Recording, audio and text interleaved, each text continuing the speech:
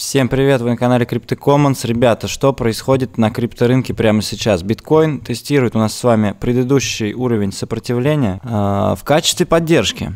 Вот, как вы можете видеть, у нас здесь было два раза сопротивление и два раза поддержка.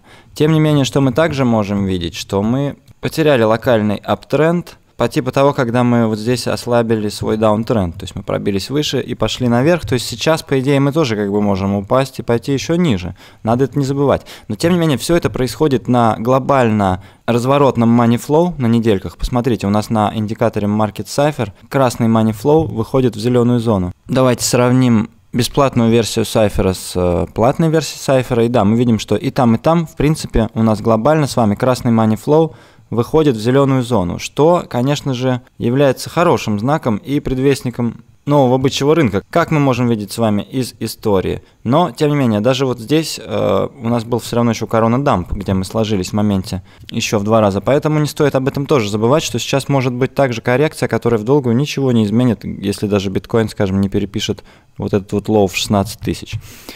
Вот, об этом, об этом всем помним, держим это в уме. Также, что мы видим еще, что RSI на недельках у нас пошел вниз, ниже 50 ушел и долго держится там. Посмотрите, не смог подняться выше и, и рисует вроде как что-то типа медвежьего флага. Это не очень хорошо статистически, потому что... Это очень нехорошо даже, я бы сказал, статистически, потому что по недельному RSI всегда, когда мы в бычьем рынке, мы должны быть выше 50 мы должны подняться выше 50 и закрепиться. Здесь мы были выше 50, но стали уходить ниже. Тем не менее, абсолютно перечит ему дневной RSI. Посмотрите, по дневному RSI мы уже с вами отскочили от очень глубокой перепроданности.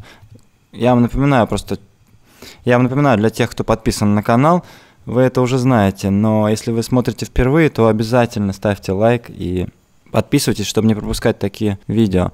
У нас RSI на дневке был настолько перепродан, насколько он, в принципе, был перепродан всего несколько раз. Посмотрите сами, этот уровень э, всегда, когда мы достигали таких низ, нижних значений, это было либо дном, э, либо близким к одну значению. Ну, как минимум, оттуда был очень сильный отскок, посмотрите сами. Ниже мы были только один раз, вот здесь, на позапрошлом дне. Вот, на коронадампе, опять же, мы были на таких же значениях. Хотя здесь вроде бы, казалось бы, так сильно не падали. Что же, собственно, произошло? Да ничего, мы просто очень быстро разгрузились. И теперь смотрите, если мы вдруг перепишем сейчас вот этот вот low, то у нас здесь, по всей видимости, еще и дивергенция на RSI образуется. Так что я вам хочу сказать, что все это сходится очень хорошо с уровнем по TRDR. Посмотрите, скринер нам показывает, что здесь очень плотные покупки по 25 500, по 25 700. Всю дорогу сдерживают цену. Вот мы снова опускаемся сюда и смотрим, видим в стакане наличие покупателя 25 500, 25 300, 25 200. Поэтому, на мой взгляд, эта зона именно для покупок, потому что Дальше мы увидим разворот и рост, и снова возврат выше 30 тысяч. Это мое мнение, дисклеймер, не финансовый совет.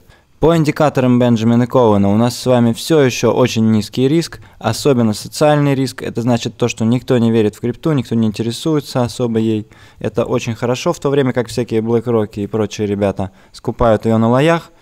У тех, кто продает, кто, раз... кто... у тех, кто продает в минус, кто накупил на хаях прошлого цикла. Это очень-очень хорошо. Напоминаю вам, что у нас все еще недооцененность до средних значений 51%, что означает, что нам надо вырасти вдвое, чтобы вернуться на среднее значение. Так что биткоин по 50 тысяч долларов все еще на, на балансе вероятности, ребята, в ближайшем обозримом будущем. Вот какой у меня торговый план. Напишите свой торговый план в комментариях и согласны ли вы с этим. Вот, так что, друзья мои, это был такой короткий, быстрый апдейт.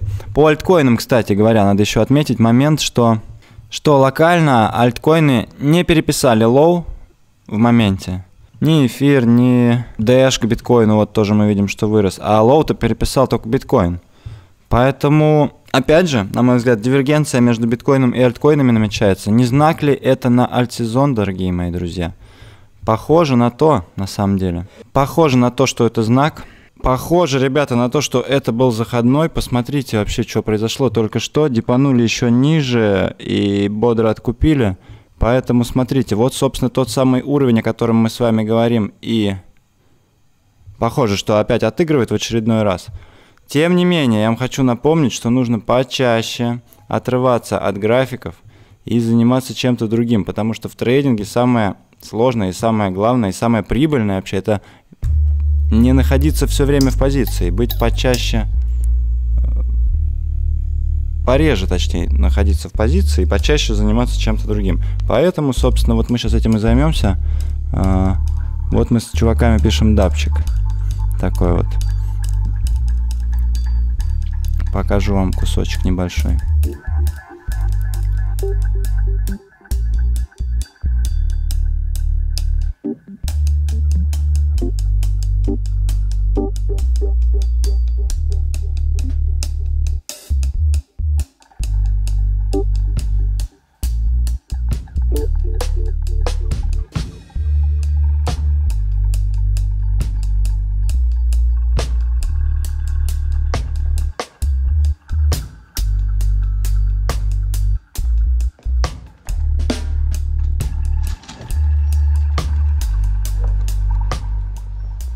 Вообще почаще выходить на свежий воздух, погулять, посмотреть на природу.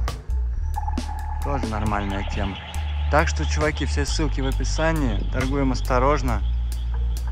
Режем убытки коротко, даем прибыли течь. Всем профитролей. И до следующей встречи. Пока.